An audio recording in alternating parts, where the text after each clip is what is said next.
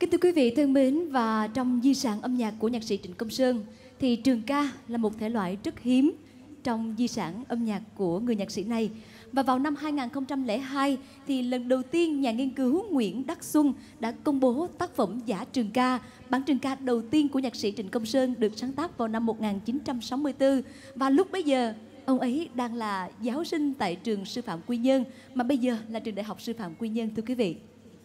Vâng, với sự phát hiện ra giá chẳng ca thì chúng ta lại nhận ra được một chân dung của Trịnh Công Sơn, một con người yêu đời, yêu người và yêu dân tộc mình. Vào dịp kỷ niệm 80 năm ngày sinh của ông thì trường ca Giá chàng Ca đã được dàn dựng lại và được ghi âm bởi một chàng ca sĩ sẽ xuất hiện ngay sau đây cùng với quý vị trong đêm hôm nay. Xin trân trọng giới thiệu ca sĩ Đức Tuấn.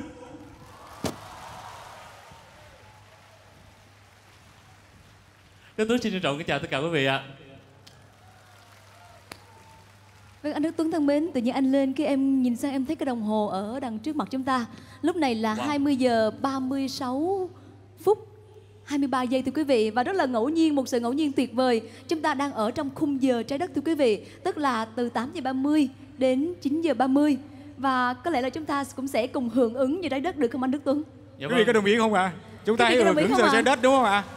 Dạ, Nào. mọi người trào tay thật lớn để chúng ta à, chúng ta sẽ cùng nhau hưởng ứng à, một cái hoạt động vô cùng thiết thực mà gần như là năm nào thì Tuấn cũng à, tham gia vào cái cái chương trình này.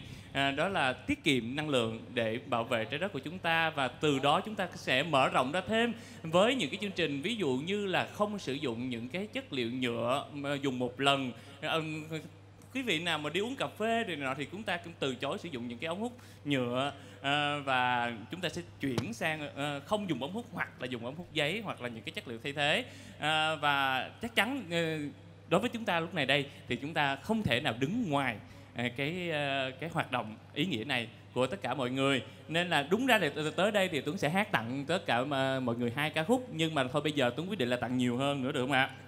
Dạ quá được ạ. Vậy Rất thì được. Bây Mình- giờ mà tắt hết điện á, thì không biết ban nhạc sao đánh. mình hát mộc đi anh. ban ban nhạc cho em đại cái tâm đô đi. Đô, Dạ không, em ờ, nghĩ là mình sẽ hát mộc.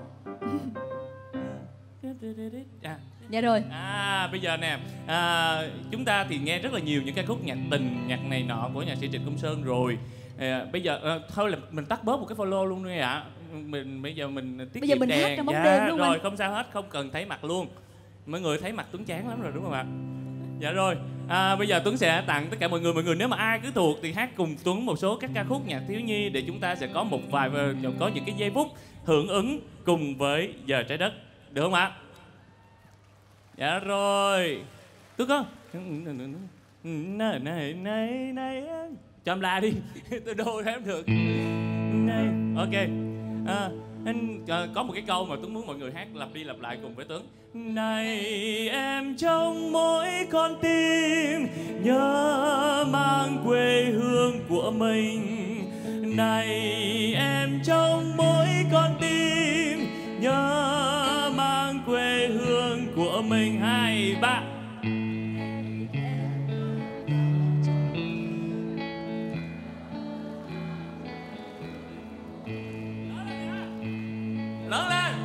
Lớn hơn nữa quý vị.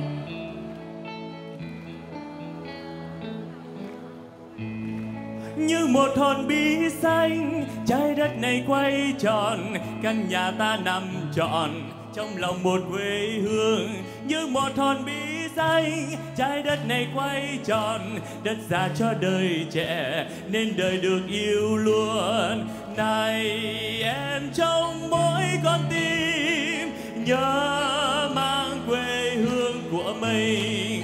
Này em trong mỗi con tim, nhớ mang quê hương của mình. Như một hòn bi xanh, trái đất này quay tròn, vô tình ta cùng chọn, nơi này làm quê chung. Như một hòn bi xanh, trái đất này quay tròn, vô tình ta cùng gặp những ngày buồn vui chung. Hát to người ơi. Này.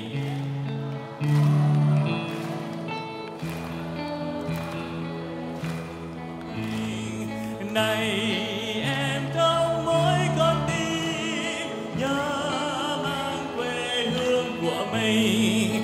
Bà sẽ là một gọi cái em em sẽ là con dạ. sẽ là mùa xuân của mẹ. Em sẽ là màu nắng của cha. Em đến trường học bao điều lạ. Mỗi biến cười là những nụ hoa. Trang sách hồng nằm mơ màng ngủ.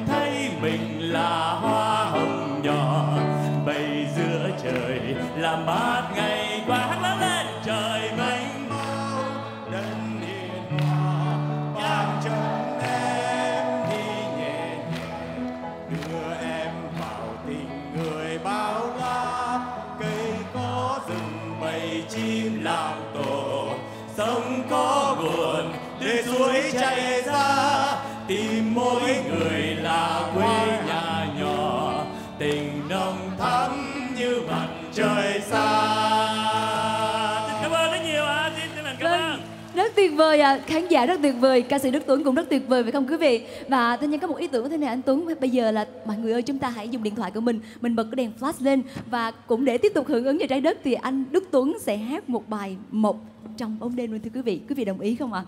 Để mình thưởng thức trọn vẹn giọng ca rất là tuyệt vời của anh ấy ạ. Và bây giờ anh sẽ hát bài gì trước ạ?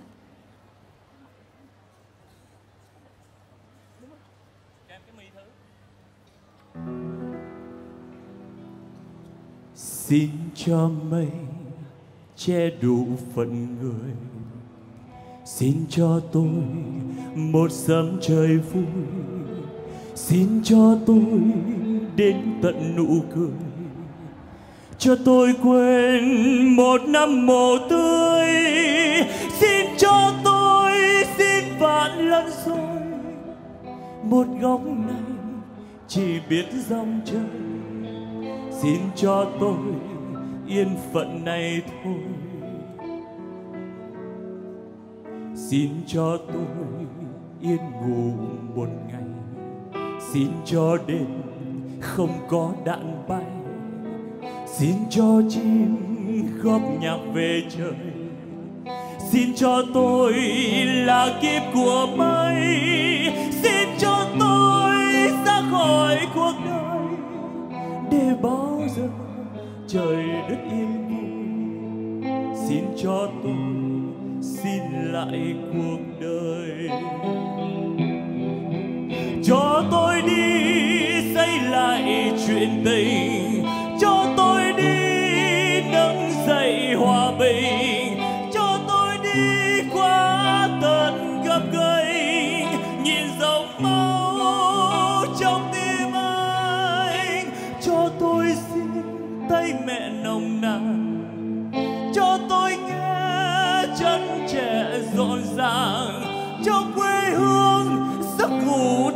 Thật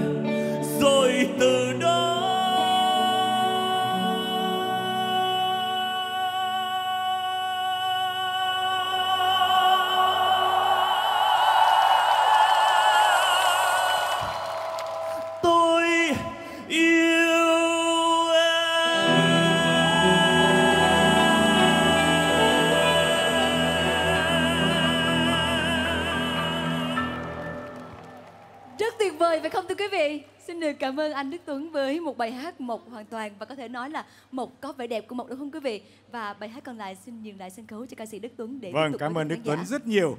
Cảm ơn quý vị khán giả, chúng ta đã cùng hưởng ứng nhiệt tình giờ trái đất. Hãy cho một lời cảm ơn cho chính những người nhiệt tình với trái đất của chúng ta. Và bây giờ sân khấu là của Đức Tuấn.